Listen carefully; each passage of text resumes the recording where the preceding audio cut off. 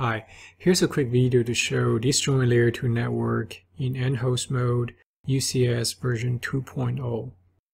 The first thing to note is that we simply cannot have overlapping VLANs because only one designated receiver uplink is chosen for each VLAN starting version 2.0.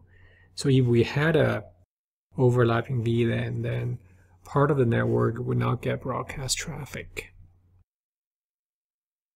So here we pick VLAN 20 to flow only over interface 1 slash 5 and VLAN 30 to flow only over interface 1 slash 6. Let's jump over to command line to verify the configurations.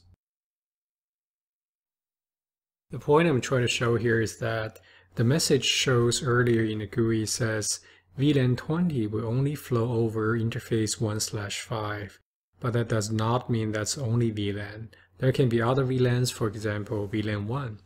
So if you do not want other VLANs, you will have to block them on the uplink switch to say switch port trunk allow VLAN 20.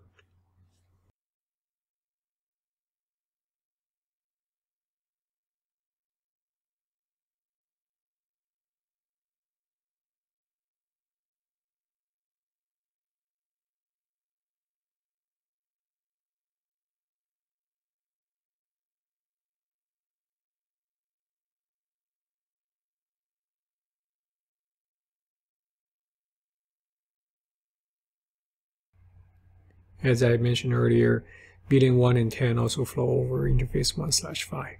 Thanks for watching. Have a great day.